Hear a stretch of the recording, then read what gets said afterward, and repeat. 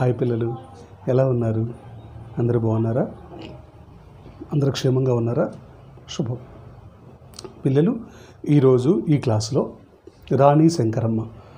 మరి చివరి భాగాన్ని తొమ్మిదవ భాగాన్ని ఈరోజు ఈ క్లాసులో మనం చెప్పుకోవడానికి ప్రయత్నం చేయబోతున్నాం. కాబట్టి చెప్పేటప్పుడు శ్రద్ధగా వినండి. మరి ఎన్నో విషయాల గురించి మనం ఇప్పటివరకు తెలుసుకుంటూ వస్తూ ఉన్నాం.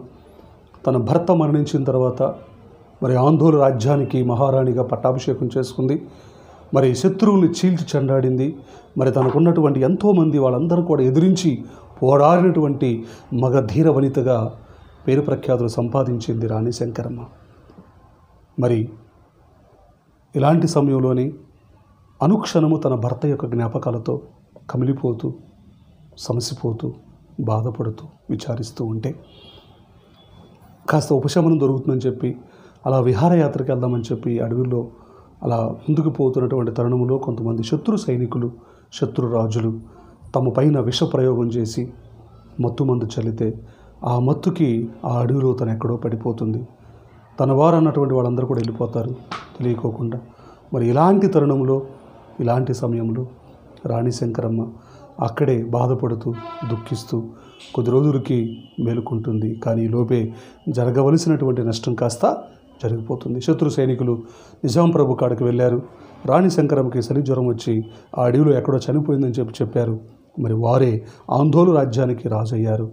మరి రాణి శంకరమ్మ మరి మత్తు నుంచి బయటకు వచ్చిన తర్వాత చూస్తే కటిక చీకటి ఎవ్వరు కూడా లేరు.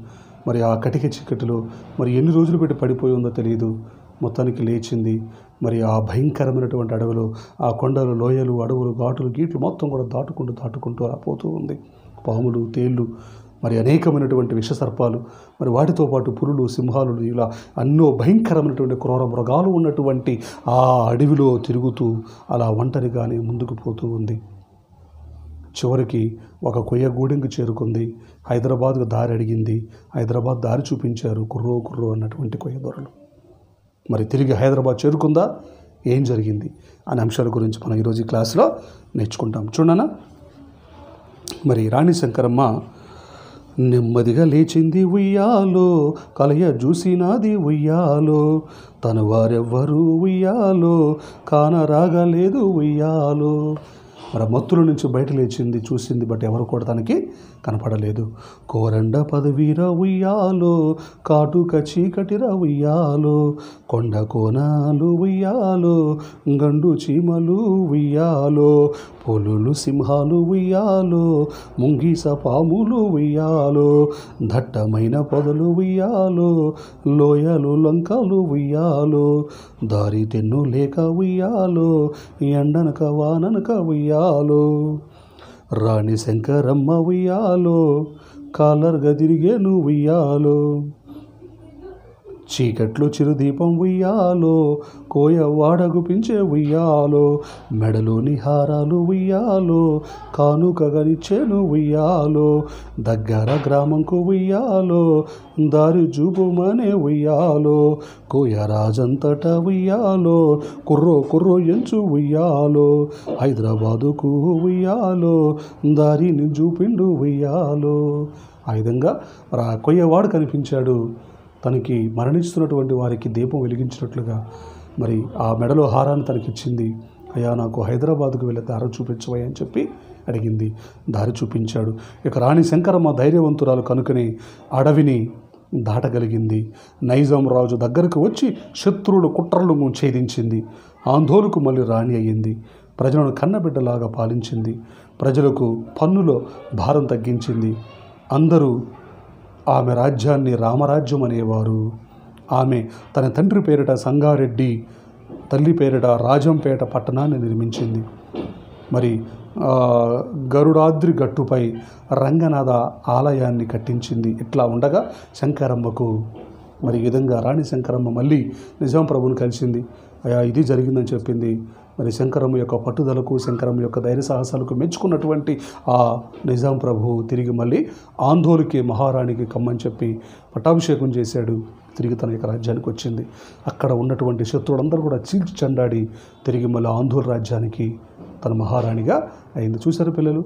మరి శంకరములో ఉన్నటువంటి ఆ పోరాట పటిమ శంకరములో ఉన్నటువంటి ఆ యొక్క ధైర్య సాహసాలు ఆ శంకరములో ఉన్నటువంటి ఆ ఆ ఒక రకమైనటువంటి ఆ ఉద్వేగం ప్రతి ఒక్కరిలో కూడా ఉంటే మరి ఎన్నో విజయాలు మనం కూడా సాధించవచ్చు.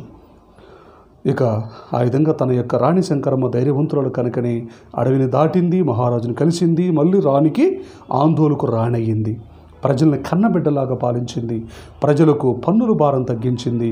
అందరూ కూడా ఆమె రాజ్యాన్ని రామరాజ్యము రామరాజ్యం అని చెప్పి తన యొక్క తండ్రి పేరు మీద మరి తన యొక్క తండ్రి పేరిట రా సంగారెడ్డి తల్లి పేరిట రాజంపేట పట్టణాన్ని ఆమె నిర్మించింది. మరి గరుడాద్రి గుట్టపై రంగనాథ ఆలయాన్ని కూడా కట్టించింది. ఇట్లా ఉండగా శంకరమ్మ రాజపుండు పుట్టింది ఉయ్యాలో రంపాన పెట్టింది ఉయ్యాలో రాజపుండు పుట్టింది ఉయ్యాలో రంపాన పెట్టింది ఉయ్యాలో ఎన్ని మందులు పెట్టి ఉయ్యాలో ఇంతైనా తగ్గదు ఉయ్యాలో ఎన్ని మందులు పెట్టు ఉయ్యాలో ఇంతైనా తగ్గదు ఉయ్యాలో వెయ్యంత పాకింది ఉయ్యాలో పానాలు తీసింది ఉయ్యాలో. వెయ్యంత పాకింది ఉయ్యాలో పానాలు తీసింది ఉయ్యాలో. రాణి శంకరమ్మ ఉయ్యాలో దేవుణ్ణి చేరింది ఉయ్యాలో. రాణి శంకరమ్మ ఉయ్యాలో దేవుణ్ణి చేరింది ఉయ్యాలో. మరి రాణి శంకరమ్మ ఇలా ఎన్నో అద్భుతమైనటువంటి ప్రజారంజకమైనటువంటి పరిపాలన చేస్తూ తన యొక్క రాజ్యాన్ని ఒక సుభిక్షితమైనటువంటి రాజ్యంగా పరిపాలిస్తూ ఉంది. ప్రజల్ని తన కన్న బిడ్డలాగా చూసుకుంటుంది. ఎవరికి ఎలాంటి చీకూచింత లేకుండా ఎవరికి ఎలాంటి కష్టము నష్టం బాధ సమస్యలు లేకుండా తన కన్న బిడ్డల వలె తన ప్రజల్ని అల్లారు ముద్దుగా పెంచుకుంటూ ఉంది రాణి శంకరమ్మ. మరి ఇలా ఉండగా రాచపుండు అన్నటువంటిది ఒక క్యాన్సర్ లాంటిది మన యొక్క శంకరమ్మకు పుట్టింది. అది రంభాను పెడుతూ ఉంది. ఎన్ని మందులు వాడినా ఎంతోమంది వైద్యుని కలిసినా అది మాత్రం తగ్గలేదు. టోటల్ బాడీ అంతా కూడా పాకింది. చివరికి రాణి శంకరమ్మ ఆ రాచపుండు కారణంగా తను మరణించింది. పియ్యంతా పాకింది ఉయ్యాలో పానాలు తీసింది ఉయ్యాలో. రాణి శంకరమ్మ ఉయ్యాలో దేవుణ్ణి చేరింది ఉయ్యాలో. సో మొత్తానికి సెవెంటీన్ సెవెంటీ ఫోర్ పదిహేడు వందల పదిహేడు వందల డెబ్భై నాలుగో సంవత్సరంలో మరి రాణి శంకరమ్మ ఈ యొక్క లోకాలు వీడి మరి తను వేరే లోకాలకు వెళ్ళిపోయింది. ఆందోళన చరిత్రలో ఆమె కీర్తి సువర్ణాక్షరాలతో లిఖించింది. అందుకే ఆంధోలు ప్రజలు శంకరమ్మను ఈ విధంగా కీర్తించారు. వీరశంకరమ్మ ఉయ్యాలో శూరశంకరమ్మ ఉయ్యాలో వీర శంకరమ్మ ఉయ్యాలో శూరశంకరమ్మ ఉయ్యాలో ఆందోలు కీర్తిని ఉయ్యాలో అజరామరం చేసే ఉయ్యాలో ఆందోలు కీర్తిని ఉయ్యాలో అజరామరం చేసే ఉయ్యాలో సూర్యచంద్రులు ఓలే ఉయ్యాలో సుక్కై నిలిచింది ఉయ్యాలో సూర్యచంద్రులు ఓలే ఉయ్యాలో సుక్కై నిలిచింది ఉయ్యాలో ఆదర్శ రాణి అయి ఉయ్యాలో నిలిచిపోయినది ఉయ్యాలో. ఆదర్శ రాణి అయి ఉయ్యాలో నిలిచిపోయినది ఉయ్యాలో. మారాణి శంకరమ్మ ఉయ్యాలో మారాణి మా తల్లి ఉయ్యాలో. మారాణి శంకరమ్మ ఉయ్యాలో మారాణి మా తల్లి ఉయ్యాలో. విన్నవారికి ఉయ్యాలో విష్ణు లోకాలు ఉయ్యాలో. విన్నవారికి ఉయ్యాలో విష్ణు లోకాలు ఉయ్యాలో. చెప్పిన వారికి ఉయ్యాలో కలుగు గోస సంపదలు ఉయ్యాలో. చెప్పిన వారికి ఉయ్యాలో కలుగు గో సంపదలు ఉయ్యాలో. మంగళం మంగళం ఉయ్యాలో రాణి శంకరమ్మ ఉయ్యాలో. మంగళం మంగళం ఉయ్యాలో రాణి శంకరమ్మ ఉయ్యాలో. మరి ఈ విధంగా రాణి శంకరమ్మ ఒక సూర్యుడిలాగా ఒక చంద్రుడిలాగా ఒక నక్షత్రంలాగా ఆకాశ వీధుల్లో రెపరెపలాడుతూ ఒక ధ్రువతారలాగా వెలిగిపోతూనే ఉంటుంది. ఆందోలు ప్రజలు ఆందోలు రాజ్యాన్ని పాలించినటువంటి శంకరమ్మ యొక్క మనసు తెలుసున్నటువంటి ప్రజలు వాళ్ళ మనసుల్లో వాళ్ళ గుండెల్లో ఒక గూడు కట్టుకొని రాణి శంకరమ్మ దేవిని రాణి శంకరమ్మను తన ఆరాధ్య దైవుడుగా ఆరాధ్య దైవంగా కొలుచుకుంటూనే ఉన్నారు. ఈనాటికి కూడా మరి రాణి శంకరమ్మ యొక్క ధైర్య సాహసాలు ఆ రాణి శంకరమ్మ యొక్క పోరాట పటిమ ఆ రాణి శంకరమ్మ యొక్క మరి ఎన్నో పోరాట అద్భుతమైనటువంటి సాంకేతిక నైపుణ్యాలను ఈనాటికి మనం మర్చిపోలేము. అందుకే వీర శంకరమ్మ శూర శంకరమ్మగా మారింది. ఆందోళన యొక్క కీర్తిని అజరామరం చేసింది. మరి సూర్యుడు చంద్రుడు వలె ఒక చుక్కగా నిలిచింది మారాని మాతల్లి శంకరమ్మ. మరి విన్నవారికి కన్నవారికి శుభ సుఖము సంతోషం కలుగునుగాక చెప్పిన వారికి సకల సంపదలు కలుగునుగాక మంగళం మంగళం. రాణి శంకరమ్మ ఇది మరి ఈ విధంగా మరి ఈ విధంగా ఇన్ని పరిపాలన చేసినటువంటి శంకరమ్మ ఆఖరికి తనకు వచ్చినటువంటి ఆ యొక్క జబ్బు కారణంగా పదిహేడు వందల డెబ్బై నాలుగులో మరణించింది. సో ఇంతటితో మనకి ఒక పాఠం సంపూర్ణంగా అయిపోయింది. క్వశ్చన్ చూడనా? చీకట్లో చిరుదీపం అనటంలో ఆంతర్యం ఏమిటి?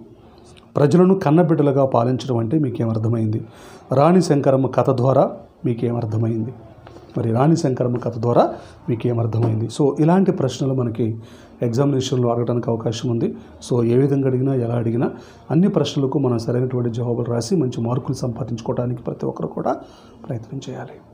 ఓకే పిల్లలు? సో ఇది రాణి శంకరమ్మ అనే పాఠము. చివరి పాఠం చివరి భాగం ద క్లోజ్ గ్రామర్ మాత్రం ఉంది. ఆ గ్రామర్కి సంబంధించినటువంటి అంశాలు మీరు తర్వాత క్లాస్లో తెలుసుకుంటారు. ఓకే పిల్లలు? మరి ఇన్ని రోజులు పెట్టి నా క్లాసులు మీరు విన్నారు నన్ను ఎంతో ఆదరించారు. మరి నేను చెప్పిన ప్రతి పాఠం మీ అందరికీ అర్థమైందని చెప్పి నేను భావించుకుంటున్నాను. మరి ఇన్ని రోజులు పెట్టి సంవత్సరం అంతా కూడా మీరు నా పాఠాలు విన్నందుకు నేను చాలా చాలా సంతోషపడుతున్నాను. మీ అందరూ కూడా మరి ఎయిత్ క్లాసులకి ప్రవేశించుతున్నందుకు మీ అందరికీ శుభాకాంక్షలు తెలుపుకుంటున్నాను. మరి తెలుగుని మీరు ఆదరించారని తెలుగును బాగా విన్నారని తెలుగు మీ అందరికీ మంచి మార్కులు రావాలని మీ అందరికీ ఆల్ ద బెస్ట్ చెప్పుకుంటూ నేను ముగిస్తున్నాను. మీ అందరికీ నా హృదయపూర్వక ధన్యవాదాలు. So take care thank you